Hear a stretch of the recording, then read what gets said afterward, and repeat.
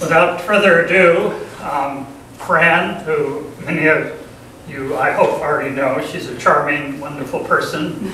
And uh, she grew up in New Jersey, and in reading about her background, uh, she often went to the Newark Museum as a child. And if you haven't been to the Newark Museum, it's still a wonderful museum. And she and her fellow students, she tells us, created pageants with paper mache animals and sewed costumes inspired by exhibits at the, at the Newark.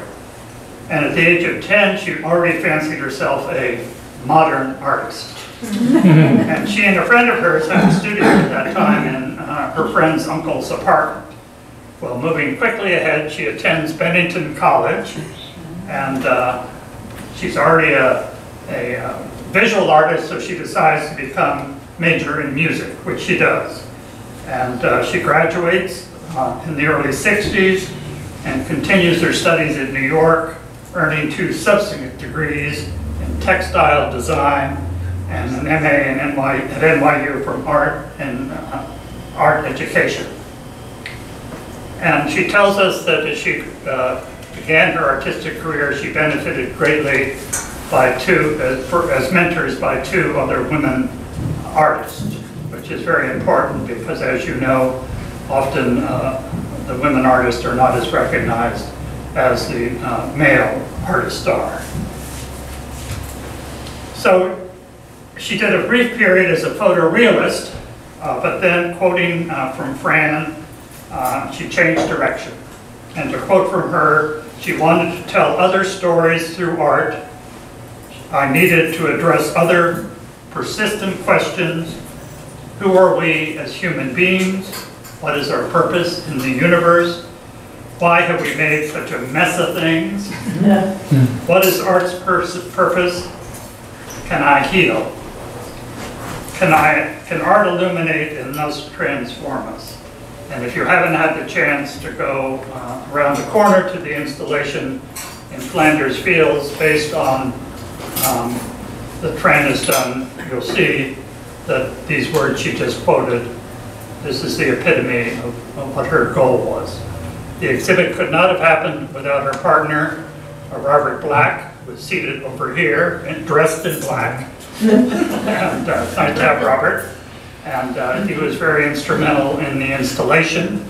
Robert himself has a degree in architecture from the University of Minnesota, and he's a man of varied talents and interests. Uh, he has served on the board of the, of, of uh, the music, Compass Music Center in Brandon, and he's been president of the um, Sculpture Center um, in West Rutland. But he also um, has a wide-ranging architectural practice. He's been a high school teacher, and um, he does installations, exhibits, drama, improvisation, and music performances, and you'll notice that his guitar is seated next to him, so I haven't even heard him play the guitar, so we have a real treat in store. So it's my real pleasure to welcome Fran and to thank her so much, and Robert for doing this art installation, and Fran for speaking today.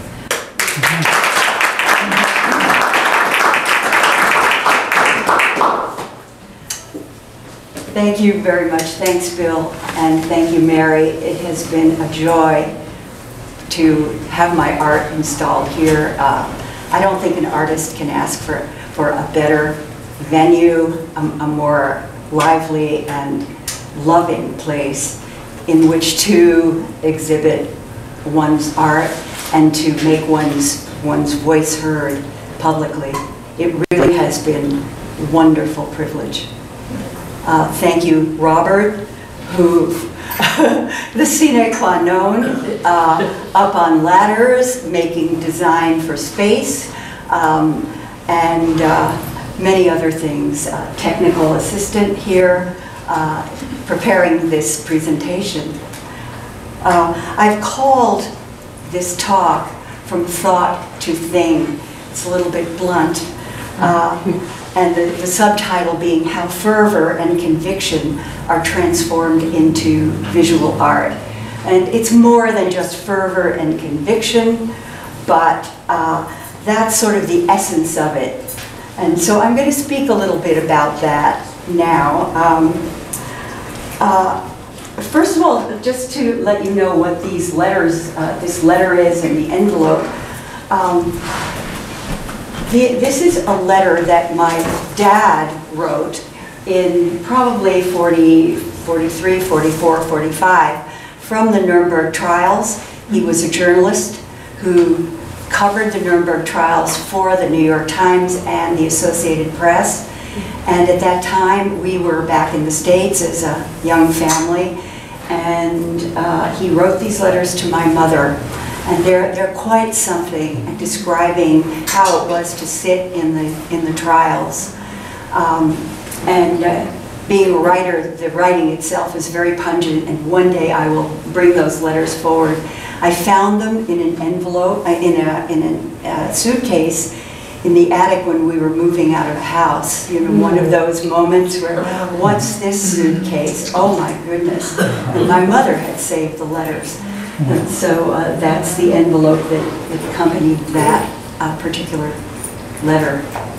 Um, So I thought, and it's World War II, but still, there was that in my, in my background. Very, we were in Vienna after the war.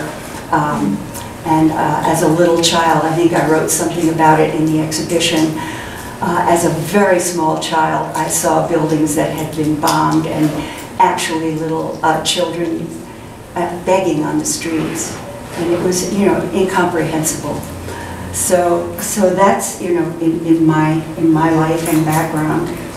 Um, So my, my talk will trace the arc of the making of the installation in Flanders Fields, a meditation on war, from the initial inspiration through the nuts and bolts creation in the studio to its completion on view in the museum here. Uh, My intention in making the work was twofold, to add my voice to those who wish for and dream of an end to war, and to honor those uh, who with courage and in good faith gave their service and their lives for the magnificent idea of peace on earth. As an artist, and even more as a teacher, I have wrestled to understand and thus explain the alchemy involved in creative expression. Things come to me. How to teach that? They may come as fully formed works of art, um, the means of their making embedded uh, in a mental image, or they are nagging, vague things that demand attention and want to be birthed into the world as image or object. They don't leave you in peace until you take action. And then they take pleasure in being evasive. They are lion, there are lions guarding the gates of creativity. That's the heroism involved that the artist uh, takes on. Um, I marvel, I marvel that out of seemingly invisible processes, works of art emerge. Where there was nothing, now there is a charged object that takes on a life independent of me. The poet, Pablo Neruda, speaks of these things powerfully in his poem, La Poesia. We will share it with you now.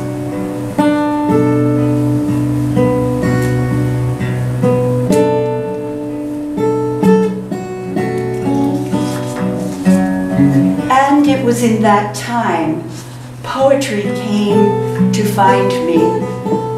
I don't know, I don't know where it came from, from winter or a river. I don't know how or when. No, there weren't voices. They weren't words or silence, but from a street. It called me from the boughs of the night. Suddenly, amongst the others, between violent fires or returning alone, it was there, faceless, and it touched me. I didn't know what to say.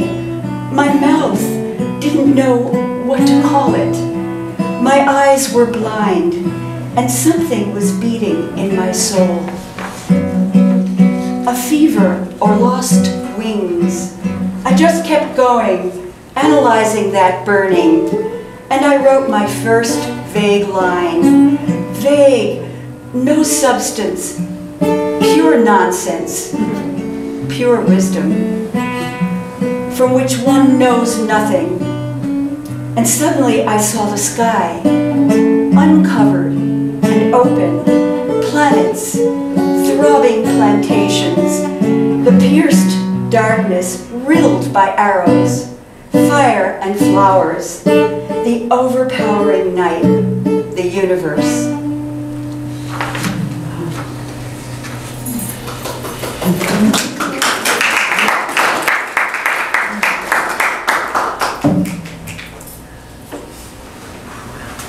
I believe it was a single image that sparked my desire to make a work that took up this very serious subject of war. I learned through newspaper accounts that fallen soldiers were being brought back from the Iraq War in the dead of night, secretly, so that we citizens would remain unaware of the scope of the tragedy. So this is, uh, this is a, that scene. I wanted in some way to express my own grief and pain. I looked for an image, for something that transcended the particular object of my grief, one that could speak to the fact of war, to the archetype of war. I wanted to portray the horror, the grief, the sadness through art. Um, sorry. I wanted to inspire others contemplate war's ever-present specter in human history. I remember vividly walking on a street in 2009 or so uh, in Barcelona, lost in the question of how to make such a work come alive. I wrestled with how to move from the invisible place of thought, vision, and feeling to the outer world of things, of expressive objects. It was then that the poem In Flanders Fields found me. It became my template, my script, so to speak, a point of departure, a symbol, a catalyst, and an end point. This is an image of soldiers in the Afghanistan war who, are, who all were dead, and uh, who all died in that war. So that configuration is something that was very much in my mind. Um, I saw in the theater of my imagination the wall of the fallen ones, the horizontal field of the poem, now made vertical, now a wall, like a wailing wall, a place for lamentation. I made in Flanders Fields in two places, in Barcelona, in the studio where I make etching, and in my Vermont studio, a space large enough for the sculpture.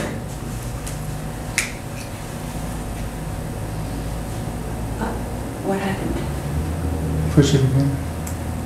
Ah. So here are some, some etchings. You can see the relationship to the previous picture, the fallen ones.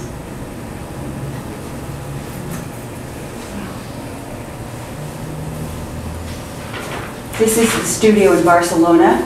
You'll see some proofs being made here, uh, also part of the, of the exhibition. Uh, one hanging on the wall, it's very large, and uh, in the foreground.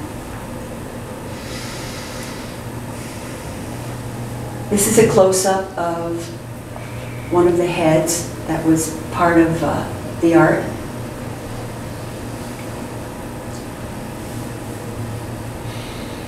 Here's another. These are copper plate etchings. Now we get to, I wasn't sure I wanted to give away the game, but here it is. Uh, this is how I made the sculptural wall of the fallen ones. I started this way, these masks on canvas, to give volume to the shapes. There you can see them cut the masks covered uh, with the plaster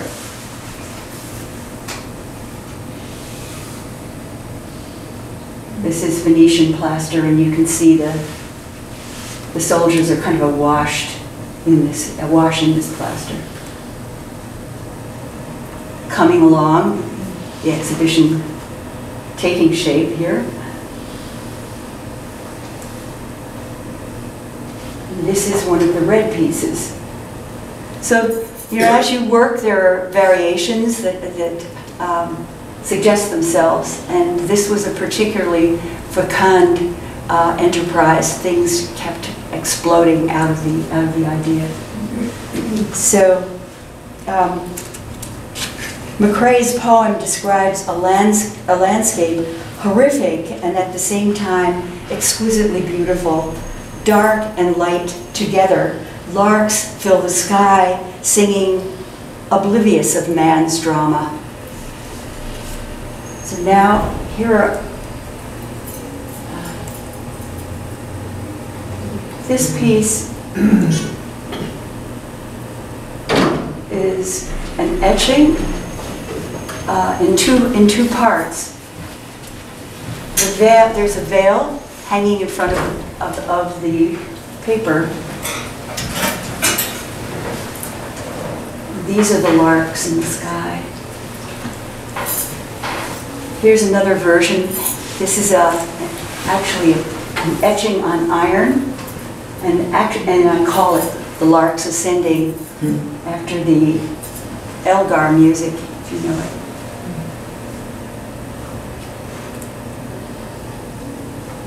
Here's another version of the same image. In etching, you can ink the plate in various ways and, and it gives you a different image.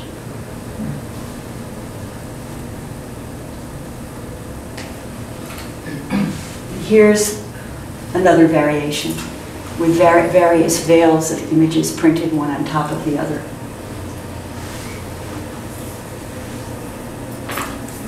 And here's my assistant Gabe Martyr at that time. She's making the very large birds, you'll see them hanging in the gallery. So they're, they're uh, coming into being. Here she is working outside because we used a toxic paint, uh, and so she did the painting outside. And here they are drying in the barn.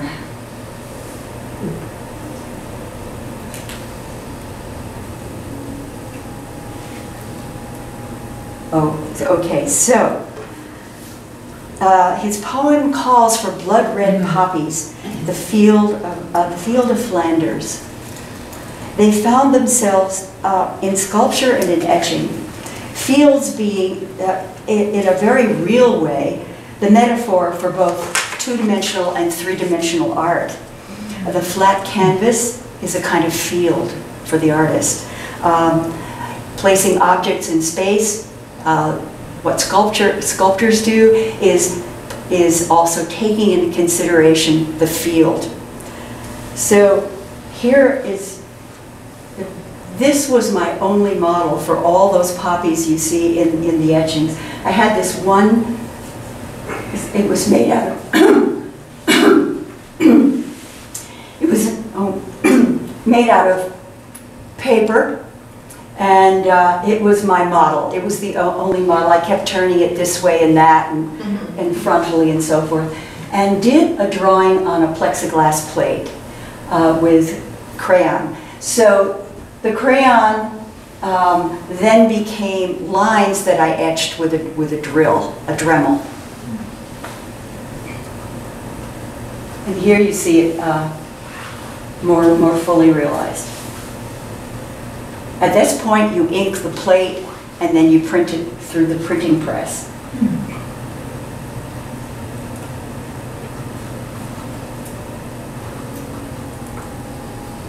Uh, Hold on. Now we come to the three-dimensional poppies.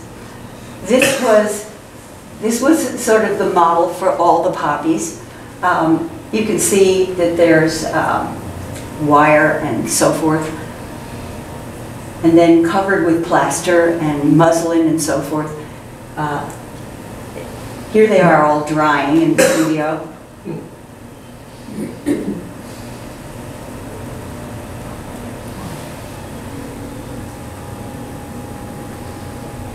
Okay, that gives you an idea of, of that. Um, what happened next, I could not have anticipated. In answer to a question, what about the women? Uh, the ancient drama by 5th century playwright Aristophanes floated to consciousness. I don't know how or from where. Lysistrata and her band of women clamored for attention. Um, here I'm showing you uh, Aubrey Beardsley's version of Lysistrata. Uh, she's kind of saucy and seductive, uh, which was um, certainly one of her very powerful aspects. Um, we have a solution. Uh, we have a solution. We have a way for the men to stop fighting this endless war. In this case, it was the Peloponnesian War. Uh, we shall withhold sexual privileges. Uh, the play was originally in- performed in 411 BCE uh, in a, uh, a humorous critique of society and uh, of the gender issues we seem still to be grappling with. Lysistrata literally means army disbander. So now I'm going to show you how. uh, the- uh, This is not in the show, but it's part of it. Um, This was the um, version I made called And Now the Women. So considering the women in, in the, in the whole picture, this was a, uh, an etching on a plexiglass plate. And this is another version of it. You can see the wonderful variety within the process itself.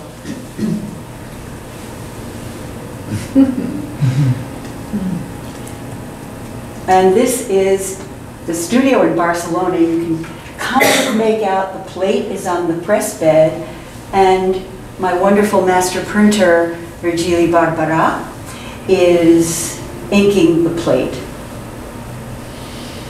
And when it's finished being inked, it goes through the press, and then you get what you get. It's one of those kind of things, sort of like firing clay. Hmm. Hmm. This was an iron plate, and you can barely make out the profile of a woman. And then it became more concretized. This is a, this is the plexiglass plate. And then here's the print. And there's that bird that's ubiquitous throughout the, the series. Here's another woman. That is the plate, and this is the print.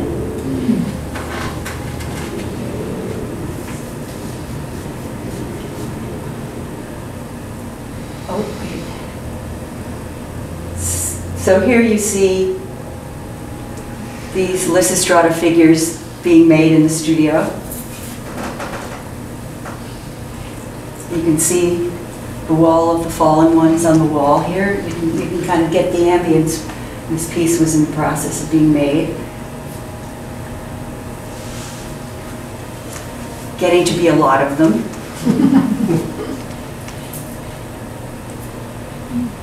Here they are.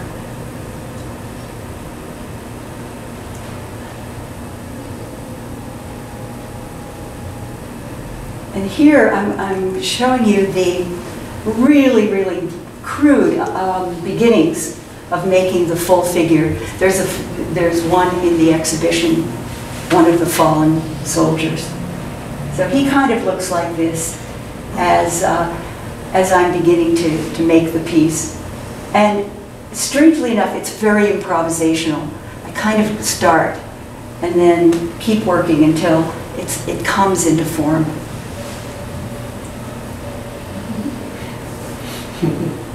I was very pleased that it kind of held together at that point.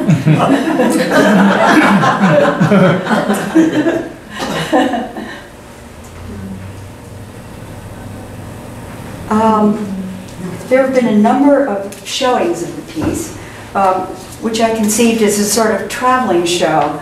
It can expand or contract according to the space allotted. Each space seems to provide its own special aura and ambience, as with how it appears here uh, in in this museum. Um, It joins with the objects, messages, and history of the war it emerged out of, World War I. In this space, it returns to its earthly origin, which I feel is such a perfect fit. Um, Along the way, other artists have participated in the piece. Uh, There was a dance in the midst of the sculpture. Um, Eileen Blackman, if some of you know her, uh, is a choreographer and dancer, an actress um, who works um, with dancers, and she created a piece uh, at the, I believe it was at the Chaffee um, during that exhibition. And here you see what's so amazing was that she made a dance for um, for professional dancers along with ordinary people. So there are these wonderful, sort of this wonderful mixture of how ordinary people move and, and how trained dancers move. There you can see uh, the piece.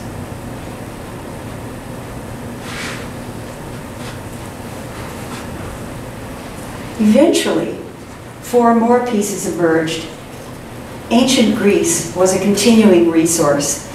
I adapted the caryatids, uh, who held up buildings, you know those marvelous women who, this, um, as symbols of feminine strength. And here you see them catching the soldiers as they fall. Here they are in the studio, in the attitude, catching. So if I could have fit one of these sculptures into this gallery, the soldier who's falling would have been almost in her arms. So, um,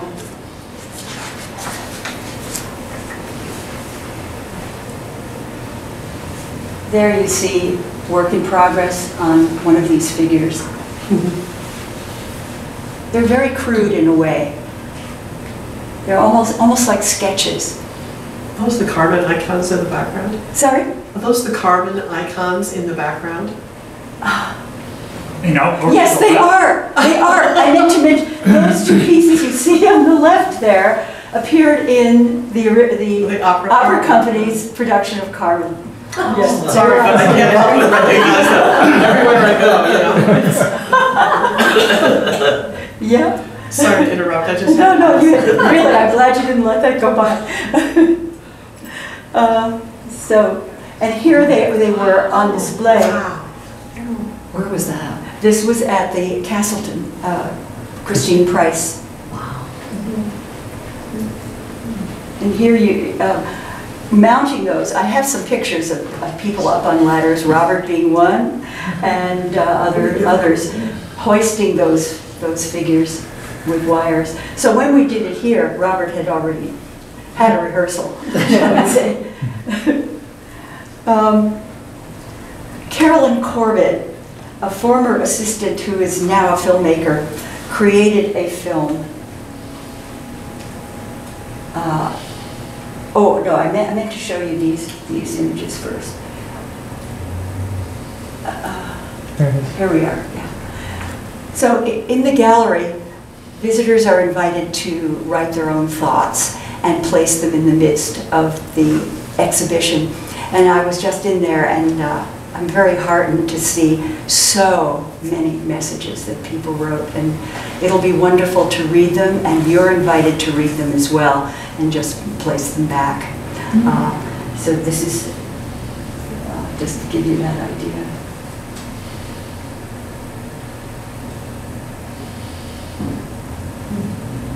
People write the most incredible, a whole range of responses. Can you read that one down, part of it? Something powerful here. It brings me back to Israel's western wall, leaving a prayer to God. There exists a world of pro-war people who just don't get it. Like uh, the something something. Lieutenant General. Ah, thank you. It's a bit like looking at ladies in waiting, all the women on death row, lined up like your heads. Uh, see, I can see this, um, I I can't read. As what will become, Ah, and then I can't read Of them. What's, Of yeah, what will, yeah, what will become. Anyway, you get the gist. It's, hmm. So now, uh, now I'm, I'm going to show a film that was made by Carolyn Corbett. Uh, She, she borrows images from the installation, from the poet's words, and uh, adds a solemn layer of her own. The music in the film was composed and performed by Matthew Saldivar, whose parents taught at Middlebury College, and who graduated himself, graduated from Middlebury College decades ago. Um, in closing, I share this short film with you now. Go one more piece first. Okay. Oh, forgot about this. Yes, I wanted to show you. This is uh, an opening of a show I just had in Barcelona of, of my etching. And it's, it was called Papers Volants, which, which means flying papers. And literally, uh, the, the etchings were, uh, were hung on clotheslines uh, so that you could see the paper and you could see the textures. Uh, and also, kind of uniform, unifying theme was the, the same bird as I used in all of my Flanders. It was one bird, cut up many, many different times. And In this case, we used old proofs. So ah. each, each bird was, had a, a pattern on it that was from a previous work. And we had hundreds of them. So I just thought it would be fun to show how art kind of morphs through different phases and stages, and you use, you take some of the symbols and images that, that, that you worked with and place them elsewhere in other contexts. That's music. I think I'm giving a talk here in Spanish. Good, I'll take it from. Okay. So, so now, uh, here's, the here's Carolyn's film, and that will conclude the talk.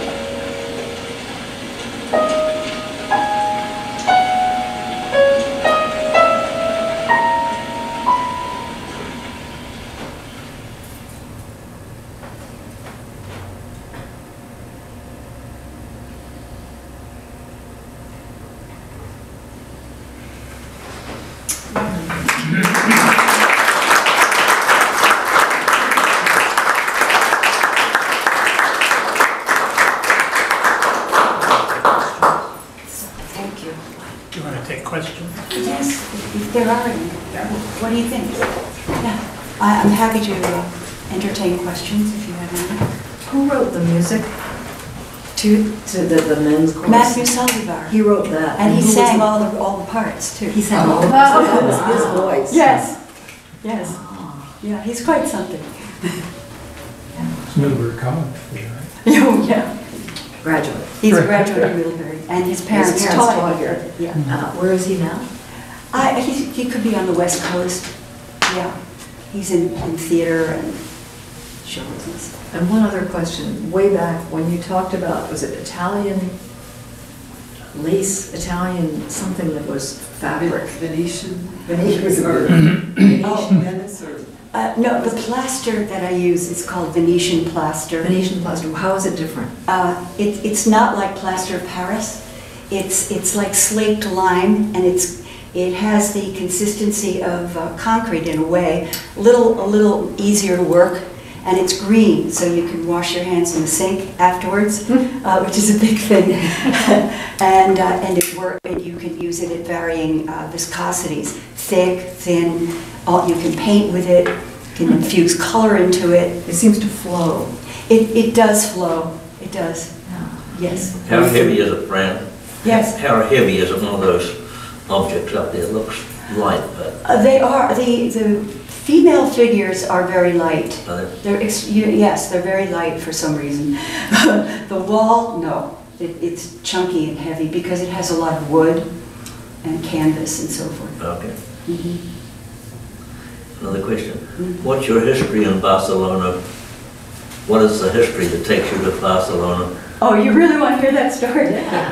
Okay. Um, I had a friend, now deceased, an artist, uh, Ben Bianchi, who um, one day, um, back in the 80s, decided he wanted to bring his friends um, to my house in New Jersey, uh, he- his friends from Barcelona who were themselves artists, to see, you know, sort of the natives in their habitat uh, on July 4th. Uh, so, so we were having a cookout and the whole thing, and they came, and um, and we just sort of fell in love. Uh, we just, you know, had so so much in common. And they said to me at that time, "You really should come to Barcelona and work in this etching studio." Um, and I'd always wanted to make etchings. I'd done silk screen and lithograph uh, in printmaking, but um, I, I was a little timid about et- uh, etching because you know there's acid and there's metal and you work on metal, and I, I don't know. I had a little bit of timidity, but eventually, some it took me years actually. I screwed up my courage and I went to Barcelona and uh, walked into that studio and it was heaven. And lots of different artists use it. They do. They, um, there's a master printer there whose dad worked with uh, Miro, Picasso, you know, all those prints that you see. It's quite a place. It's very funky, you know, uh, in a way. Uh, but it's a place where people, you know, get dirty and work and uh, so forth. Uh, Dali has worked there. Joseph Beuys worked there. Um, now the uh, somewhat famous artist uh, Jaume Plensa works there now. Uh, he made the Crown Plaza fountain in Chicago, if you know that uh, huge work. Um, so it's, it's kind of a, an amazing place, kind of little known but amazing. And um, they, they have these very large press beds, so that's how I can make those very large prints. And they were designed for Tapies. So, uh, and sort of made custom for him. So there they are, and we can use them. But transporting those from Barcelona back here must have been challenging. Well, then they are rolled up, and, Okay. and uh, they come in, in big tubes. Huge That part tubes. isn't so hard. But It's a the little figures. expensive, but. The figures to transport. Well, the figures you made here. Oh, oh, the figures. Oh, you made them Yeah. here? Yes, yes, they were made in my studio. Yeah, that's, what- that was my studio you saw. Uh, Whenever you saw sculpture, it was my studio, Mm. yeah. Yes. I just wanted to say that right behind you are two caryatids. Oh, my, yes, yes. There you have it. Yes. Girls on the March. And then behind you, uh, there's a poster from France that's similar to your inspiration, and there's one downstairs as Really? well. Uh, It's like Columbia. Oh, yes, Columbia, Yeah. yes, Uh, Or one poster showing here, it's a French poster. yes. Yeah, I, I was very interested to read about Columbia because she is kind of a contemporary goddess. Um, Figure that, yeah, Oh, wow. yes, Collaboration as well. Wow. kind of Aubrey Beardsley, but very, very uh, transmuted, heroic. Hmm, Not anti-war. Pardon? Not anti-war. Her, sh- that figure seems, is Yes. leading war. Yeah, yes, charging, well, Joan of Arc, Yeah. yes. It's raising money for the war. Right. Right. There should be That could be, Bonds or whatever, you know, for the, for the flag, for victory. yeah, Private. yes. Thank you so much. That was just lovely. I loved also the song, of the music and the poem together. Oh, thank you. lovely. I have a, um, a question that's kind, might be kind of difficult to answer. I'm not sure how I want to ask it, but the, in the poem, something that you read, you talked about, um, what it was like to have an idea kind of appear and then impose itself on you. You know, the word impose was in that poem, how something won't, kind of won't let you go. Yes, Could you speak of that a little bit, what that process is like for you to have an idea and dive into it? yeah, I, I mean, it, you can see how difficult, I was really trying to speak about that. You were Uh, speaking about that. Something moves you as an artist, you know. Um, this is the way I work anyway. There are artists who work in other ways, I think. But ultimately, something comes to you. I mean, it's akin to a dream, but it's a mental, something happens in your mind. Shakespeare said, and then begins a voyage in my head. Uh, and it's like that. And certain things do take you over, and you say, yes, that has enough uh, vitality all by itself that I'm going to pursue it. It will carry me along. And sometimes it doesn't happen, but in this case, it certainly has. Yeah.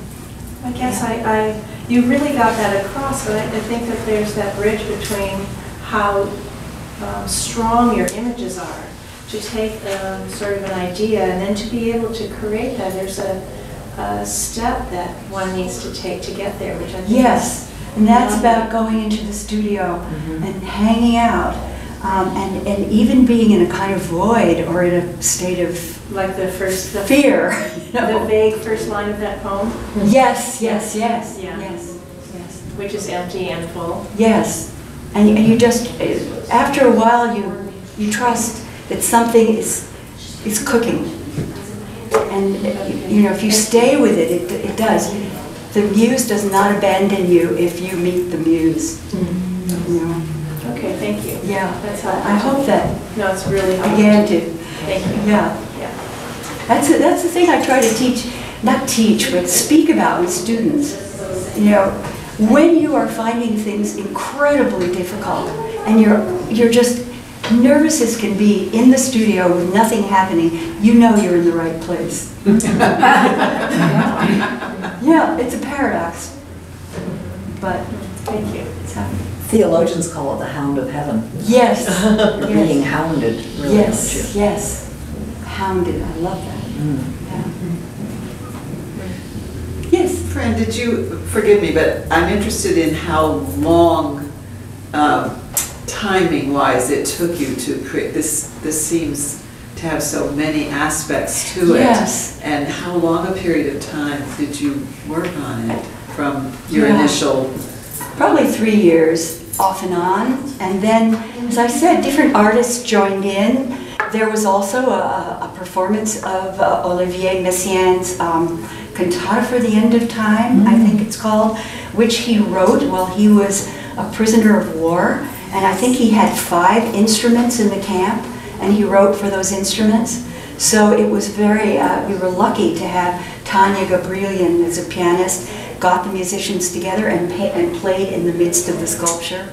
So all these different events have happened around, around the piece. Uh, so, you know, I could say three years to, you know, to make the, the, um, the nuts and bolts pieces, but then other things uh, came in. And are there plans beyond this wonderful Sheldon Museum, but elsewhere that it, Not at the moment, no. Storage. Responsible storage. It should keep traveling. it's an amazing Well, thank you. I I mean, I, I realize we're not seeing all of it uh, due to the space limitations, It's, but it's there, though. It It's- sufficient. it's really, It's sort of like poetry, you know, it can be very uh, abbreviated and still, you know. Also, Robert, uh, Robert made the sound element that you hear. Um, It's a a kind of- a sound collage. So that's, that was a new element that came in with this mm-hmm. exhibition. Yes. Along with being in the midst of the larger exhibition, mm-hmm. which is Oh, it's so perfect. cool. It's wonderful. Mm-hmm. So Fran, in, in looking at the figures as you're beginning the construction, am I Yes. right that, that they are foam, uh, styrofoam kind of? Some of them are, it's foam and wire and bandage and, and, um, uh, you know, anything that will make the structure very stable. And and I failed in some areas of that. But, you know, but, uh, and then the the plaster and muslin that I could drape. Yes. That, that's that draping thing you see, which is almost like another kind of drawing. You could sort of draw with the fabric. And if I may, um, with the birds in the, in the film, that aspect of looking um, at what's sort of dripping off the birds, um, and how do you get that effect? You just, That could have been the lighting in the film. It- it- You can see the actual birds here, yes? and uh, they're, they're kind of sinister birds, I have to say. There was a sense of almost blood dripping off Yes, that's where I was Oh. leading. In the film. Making it feel like film. it was That's what made me think It it wasn't too. just. It wasn't just me, no. It didn't feel like just feathers. It was that film is, is really, Isn't it something? Yes, Yeah. yes. Yeah. Was Flanders, were Flanders Fields um, pastures? Which is why Yes. we hear the sheep? Yes, and then there were, you know, if you've been to that part of the world, the poppies are just come up in profusion. It was sort of, you know, this suggestion. The, the soldiers um, who were buried there, um, sprouting these flowers. It's an amazing image. And it really, it was such a living image from the poet all the way through the making of the work. So you have these levels in nature in, in this work. You have the underground, which is where the soldiers are buried. You have the field of poppies. Then you have, you know, the human activity as if on kind of a stage. And then above that, you have the, the birds in nature. You know, nature going on as best it can um, in the midst of, you know. So powerful, powerful. And we had our own sound effects with the, The what rain? Oh, yes, it started with rain, air right. conditioning. Oh, it was the air conditioning. Winter's coming no, up. but it was the rain hitting the air. Oh, hit it, yeah. certainly Yeah, sounded that like- was very That powerful. was powerful. We thought you'd done that too. No, no, no. Life and art. Yes, Megan. Um, I, I was appreciating a a couple things. One was what you were just describing, the many levels. It's like a, there's a transmutation through the levels in terms of like life, the death of the soldiers, their bodies underground, and then the flowers growing from their bodies and the red of the, the flower and the red of the blood that was Yes. spilled. Mm-hmm. And then the you know, if one were to go here, a sense of like the invisible, the spirit or the soul of them above, right, with the birds. Yes. There's just such a beautiful connection there with the transmutation between many nature levels like you were describing. That was really lovely. Um, And then I, I, I wanted to just be curious, I really appreciate the interdisciplinary aspect of the work. So within your own uh, lexicon, there's lots of media, and then also the collaborative Yes. component um, in terms of collaborating with other artists and inhabiting, again, more interdisciplinary um, media. I'm wondering if you can speak to that process, like, because it's, it's such a beautiful process and it's not, it's not easy. And so to find your path with it in this way where it synthesizes so well, I'm wondering if you can speak to that or share a little bit. Yeah, particularly in this piece, I experienced um, the collaboration and uh, sort of, my feeling is always to say yes to stuff. Somebody comes to you and says, wow, let's do blah, blah. Yeah, let's do it. And, and then something happens. So if you, if you, you know, if you sort of dwell in your own reservations about, you know, either working with somebody or, or, or that the idea might be so foreign to you, then nothing ever happens. so I'm the fool who rushes in. And this is how a very harmonious collaboration happens. And that was, you know, with, with Eileen Blackman, when we, um, when she proposed the dance, was yes. Well, and then we had some meetings, and we found, you know, we just had so much to um, speak about, and, and the exchange was great. And then she made the piece, and it was marvelous. So, you know, that, that's kind of my approach to collaboration. Uh, I don't always start out, I'm kind of, you know, as an artist in the studio in the old fashioned way, I'm, you know, I'm a, sort of a one man band. But then when this, this other stuff comes in, and I do have, you know, I do have uh, a background in music and um, in, in other aspects, in set design, um, yeah, uh, I, it, it's wonderful to have all of these things operating. And especially in this piece, it happened. And so when you're cultivating that, right, there's an openness, I'm hearing, and a receptivity, and a Yes, yes. and, um, and a, a, a, almost a letting go, like just you're on a Exactly. ride and an adventure, in a sense. Yeah. I'm feeling. I'm, Yeah. I'm curious, did, was, did you know, um, did you see, for example, like the dance piece, did you see that happen before it occurred? Or was it kind of a surprise when it all came together? I never saw a rehearsal. Um, it was a total surprise. But we had had these conversations, and I just had trust that something amazing was going to happen. And it did. You know, it's just so, you know, just so happened it did. And of course, Eileen is, you know, another kindred soul in, in creating and improvising and um, so forth. So it was, it was very fruitful. Thank